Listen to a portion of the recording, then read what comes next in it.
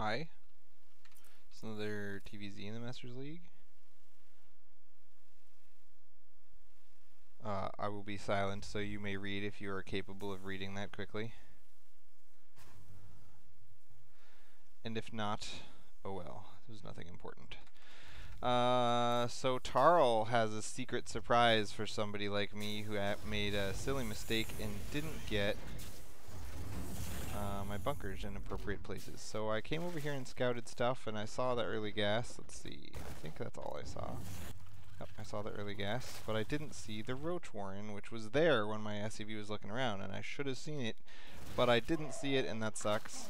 Uh, I'm only going to lose a couple of marines running away. The thing is, you can run away from roaches, and you can fight lings, but if he mixes them together, I should have, you know, taken some roach hits in order to get rid of those lings, but it's always a question of if I stop to kill the lings, then a couple of roaches are all going to get shots off. Is that going to do more total damage than stopping and fighting? I mean, than just walking away and letting the lings get occasional hits. So I have bunkers up already.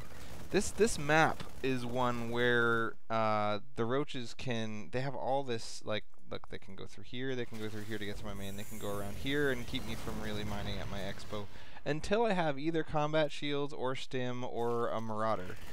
Uh, it's really hard to, to do anything with enough roaches walking around. So you'll notice he's not massing roaches. This is just a normal 7 roach push, and I've known about 7 roach pushes forever. It's the 7RR, the 7 roach rush. Uh, and, I mean, I should be totally used to this by now, and I should have easily mopped it up.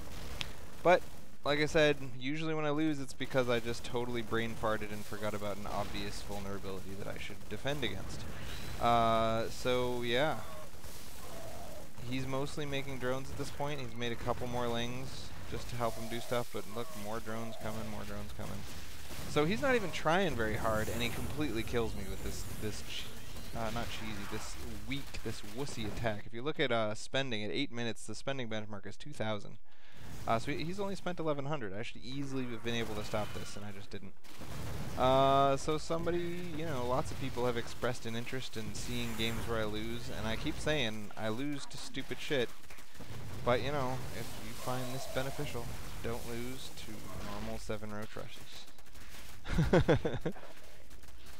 so yeah, it would have been easy to stop this with one Marauder, or even if the bunker on the high ground had finished. I, I didn't start it until too late.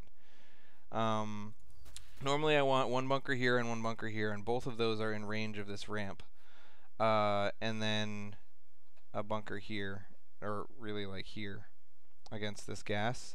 Because then these two bunkers can protect me from roaches in the south, especially if you have a Marauder that has a very long range. Uh, and then these two bunkers can protect over here, and all of the bunkers can reach each other, so they all kind of protect each other from stuff. Uh, but the real defense against uh, quick roaches is just to have, uh, you know, a reasonable army size when they come. It's only a $700 push at six minutes, and the benchmark for six minutes is a thousand. So having a thousand bucks at six minutes isn't really a lot to ask. Let's let's uh, hang on. So right here at six minutes, he's got a thousand dollar army, and I've got a 650 plus two bunkers army, right? So, bam, 850 versus a 1,000. That's the end of the, the story. And if this bunker had been done, easy peasy victory. Anyway, see you guys.